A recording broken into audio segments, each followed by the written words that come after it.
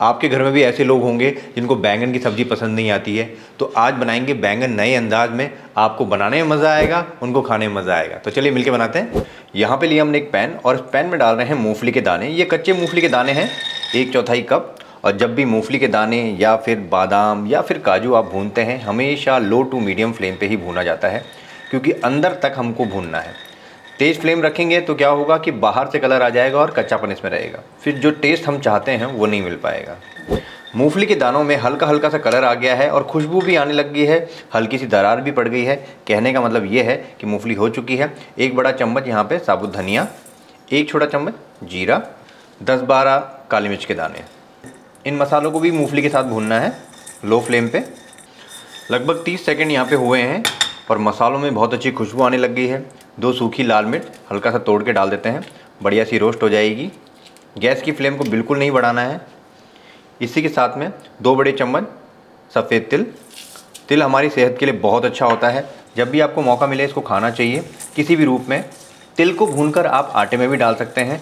हाँ सर्दियों में इसको ज़्यादा खा सकते हैं, गर्मियों में क्वांटिटी कम रखिए, क्योंकि इसकी तासीर गर्म होती है। लेकिन इसका मतलब ये नहीं कि आप इसको गर्मियों में नहीं खा सकते। गर्मी में खा सकते हैं, लेकिन क्वांटिटी कम होनी चाहिए।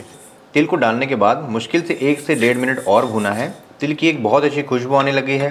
तिल भी हल्का सा पॉपअप हो गया है यहाँ पे और कलर भी चेंज हो गया है। तो गैस की फ्लेम को बंद कर दीजिए। फटाफट से दूसरे बर्तन में इसको खाली करना होगा, क्योंकि पैन हमारा गर्म है तो यहाँ पे मसाले जल जाएँगे। मसाला यहाँ पे ठंडा हो चुका है। एक मिक्सर ग्राइंडर में डाल के इसको क्रश करना है। पूरी तरह से पेस्ट नहीं बनाना है इसका। ये मसाला यहाँ पे दरदरा मैंने पीस लिया है। आधा मसाला मिक्सर ग्राइंडर में रहने देंगे और आधा प्लेट में निकाल देंगे। मसाले के हिसाब से थोड़ा सा नमक, थोड़ा लाल मिर्च पाउडर कलर के लिए, एक चौथाई छोटी चम्मच से भी कम हल्दी पाउडर कलर के लिए। अब इस मसाले को हम मिक्स कर लेंगे यहाँ पे। ये जो मसाला तैयार हुआ है, ये बैंगन के अंदर जाएगा। और ये जो मसाला है, इसका बनेगा पेस्ट और इसकी बनेगी ग्रेवी। एक मसाला, दो काम। अब बैंगन की कटिंग कर लेते हैं। यहाँ पे हमने आधा किलो बैंगन लिए हैं। बैंगन मैं लंबे वाले इस्तेमाल कर रहा हूँ। छोटे वाले जो बैंगन आते हैं, उनका भी इस्तेमाल कर सकते हैं। बस इस बात का ध्यान रखना है कि बैंगन बहुत ज़्यादा मोटे ना हो। जिनका साइज़ बहुत ज़्यादा मोटा होगा, वो इस रेसिपी में काम नहीं कर पाएँगे। सबसे पहले हल्का सा टॉप उड़ाते हैं, हल्का सा बॉटम उड़ाते हैं। और इसको वन बाई टू बीचों बीच में से करना है। अगर आप बहुत ज़्यादा मोटे लेते तो इसका साइज़ भी बहुत ज़्यादा मोटा हो जाता।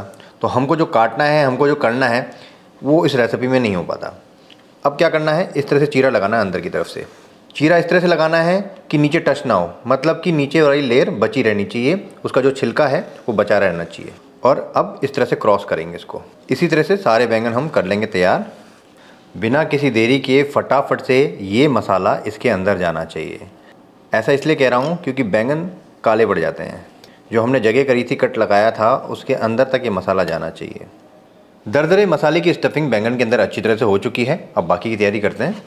बैंगन की ग्रेवी बनाने के लिए दो प्याज, दस बारह लहसुन की कलियाँ, दो हरी मिर्च, एक इंच अदरक का टुकड़ा और दो लाल लाल से टमाटर। अदरक, गार्लिक और टमाटो। इसका तो पेस्ट बनाएँगे हम। इन दोनों को चॉप कर लेंगे।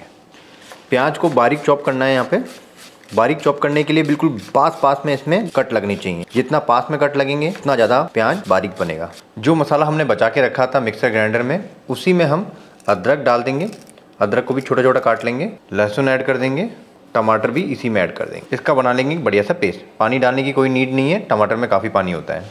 और यहाँ पे हमारा पेस्ट रेडी हो चुका है। ये देखिए। बिल्कुल फाइन पेस्ट रेडी हो चुका है। अगर हल्का सा नींबू और नमक डाल देंगे तो चटनी की तरह बिहेव करेगा। यहाँ पे हमने एक हैवी बॉटम का तवा लिया है। हल्का सा ऑयल ड्रिजल करेंगे। ऑयल को चारों तरफ़ से फैला देंगे। गैस की फ्लेम मैंने मीडियम टू लो कर रखी है। बैंगन को इस तरह से डालना है कि जो छिलका है वो नीचे तवे की तरफ़ रहेगा।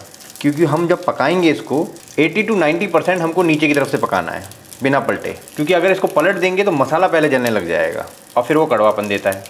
गैस की फ्लेम को मीडियम टू लो रखना है और बैंगन जल्दी से पक जाए, इसके लिए इसको कवर कर दीजिए। जल्दी भी पक जाएँगे स्टीम से, क्योंकि कवर कर दिया है, ग्रिल भी होते रहेंगे धीरे धीरे करके। तो यहाँ पे लगभग पाँच से दस मिनट हो चुके हैं। चलिए इसको देख लेते हैं। और बहुत ही अच्छी स्टीम इसमें बन गई थी, देखिए यहाँ पे। हमने इसको एक बार भी टर्न नहीं किया है। चेक कर लेते हैं, पका नहीं पका। तो ये ऐसे ही पता लग रहा है। ये हल्का सा प्रेस करेंगे, देखिए कितना आसानी से दब रहा है। मतलब कि अंदर का जो मिक्स है, वो बिल्कुल पक चुका है, ये। ये देखिए, अब क्या करना है, इसको एक बार टर्न करना है एक एक को, क्योंकि इस मसाले की तरफ़ से हल्का सा हम इसको पकाएँगे। ये वाला तो बहुत ज़्यादा ही पक गया, ये देखिए। अब इसको टर्न करते हैं सावधानी पूर्वक टूटे नहीं। बैंगन की छिलके वाली लेयर यहाँ पे अच्छी तरह से ग्रिल हो चुकी है। नीचे वाली को ग्रिल करने के लिए हमने इसको पलटा है, और हल्का सा मसाला भी भुनेगा, उसकी खुशबू बहुत अच्छी आएगी। लेकिन इसको पकाना नहीं है, क्योंकि ऑलरेडी पका हुआ है, ये देखिए। ग्रिल करने के लिए और अच्छी खुशबू के लिए हम ऐसा कर रहे हैं, मुश्किल से दो मिनट करना है बिना ढके। लगभग दो मिनट हो चुके हैं लो फ्लेम पे तो चलिए इनको टर्न कर लेते हैं। टर्न क्या करते हैं? इनको निकाल लेते हैं। अब ये देखिए, अब आएगा मज़ा। कितनी अच्छी तरह से पक चुके हैं। मसाला भी हल्का सा भुन गया है। टेस्ट बहुत ही गज़ब का आ रहा है। इसको किसी मसाले या ग्रेवी की ज़रूरत नहीं है। आप इसको ऐसे भी खा सकते हैं। तो इसको निकाल लेते हैं हम। यहाँ पे लिए एक पैन इसमें डाल रहे हैं तीन बड़े चम्मच तेल के। ऑयल यहाँ पे गर्म हो गया तो सबसे पहले एक छोटा चम्मच राई तड़काएँगे यहाँ पे। राई तड़कने के बाद में आधी छोटी चम्मच हींग, उसके तुरंत बाद प्याज। प्याज के बाद करी पत्ता और इसको हाई फ्लेम पे सौते कर लेंगे। अनियन यहाँ पे गोल्डन ब्राउन हो चुका है, ये देखिए बिल्कुल सिमट के एक तरफ़ आ गया है। तो अब बाकी मसाले ऐड करते हैं यहाँ पे। बढ़िया सा कलर आ जाए तो कश्मीरी लाल मिर्च पाउडर एक छोटा चम्मच। स्पाइसी नहीं होता है, लेकिन कलर बढ़िया आता है। आधी छोटी चम्मच हल्दी पाउडर सूखे मसालों में हम दो ही चीज़ डाल रहे हैं, बाकी हमने ऑलरेडी पीसा हुआ है। हल्का सा मिक्स करेंगे, तेल के साथ इन्फ्यूज़ करेंगे और अब जाएगा ये वो वाला पेस्ट जो हमने मसाले के साथ पीसा हुआ था। मसाले को मिक्स कर लेंगे यहाँ पे। यहीं पे ऐड करेंगे सॉल्ट और इसको अच्छी तरह से मिक्स कर लेंगे। गैस की फ्लेम को मीडियम टू लो रखेंगे। इस मसाले को पकने देते हैं। बीच बीच में स्टर करते रहना। तो चलिए मसाला चेक कर लेते हैं यहाँ पे। मसाला दानेदार हो गया है। रोगन मसाले ने छोड़ दिया है। ये देखिए, मसाला पकना बहुत ज़्यादा ज़रूरी होता है। बिखर रहा है। चिपका चिपका सा नहीं है मतलब मसाला हमारा यहाँ पक चुका है। अब पानी ऐड कर लेते हैं यहाँ पे। ये गया पानी। लगभग आधा कप के आसपास। बहुत ज़्यादा ग्रेवी वाला आइटम नहीं बन रहा है ये। इसमें लिपटी हुई ग्रेवी रहेगी।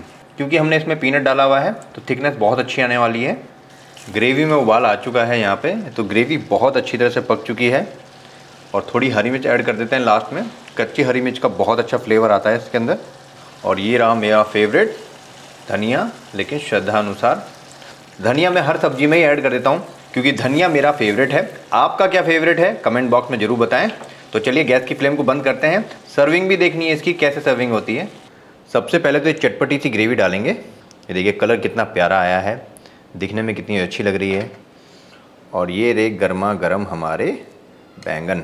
वाह, देख के मन कर जाए इसको खाने का। हल्का हल्का सा ग्रेवी ऊपर से भी टच कर देते हैं। अब बताइए, इस तरह से सब्ज़ी सर्व करेंगे तो किसका मन नहीं करेगा खाने? सिंपल सी सब्ज़ी है, इसमें कोई ज़्यादा ताम झाम नहीं है, लेकिन दिखने में कितनी अच्छी लग रही है, खाने में कितनी अच्छी लगेगी? सिंपल सी चीज़ है।